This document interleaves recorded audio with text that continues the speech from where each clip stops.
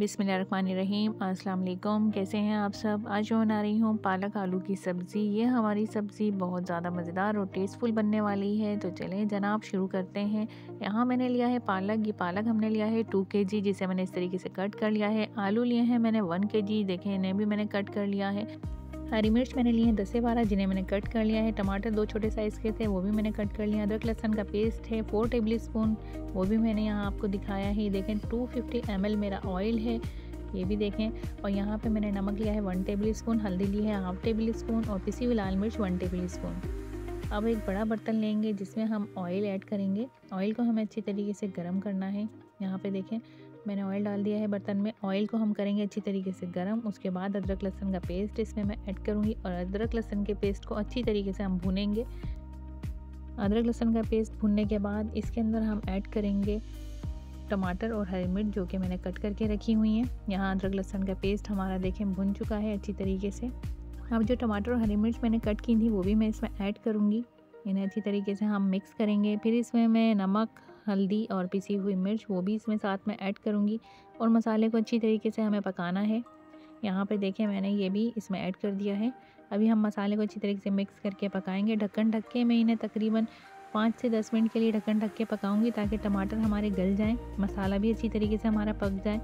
तो यहाँ पे मैंने इसे देखें अच्छी तरीके से मिक्स कर दिया है। अब मैं इसका ढक्कन ढक के इसे छोड़ दूँगी तकरीबन पाँच मिनट के लिए। यहाँ पाँच मिनट देखें गुजर चुके हैं। और टमाटर देखें, अच्छी तरीके से गल चुके हैं, मसाला भी पक चुका है।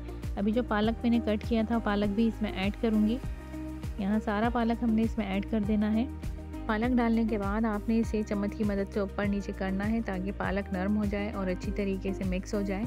यहाँ पे देखें, सारा पालक मैंने इसमें ऐड कर दिया है। इसे ढक्कन ढक के मैं तकरीबन अब पंद्रह मिनट पकाऊँगी, ताकि पालक अपने पानी के अंदर ही गल जाएगा। फिर इसमें हम आलू बाद में ऐड करेंगे। पहले हमारा पालक गल जाए, क्योंकि पालक पानी बहुत छोड़ता है। यहाँ मैंने ढक्कन ढक दिया है, पंद्रह मिनट के लिए पकाने के लिए छोड़ दिया था। ये देखें, पालक ने अपना पानी छोड़ दिया है। अभी यहाँ पे मज़ीद इसे हम पकाएँगे ताकि पालक अच्छी तरीके से गल जाए और पानी भी इसका काफ़ी खुश्क हो जाए। यहाँ पे अब मैं इसे ढक्कन ढक दूँगी मज़ीद इसे पकने के लिए।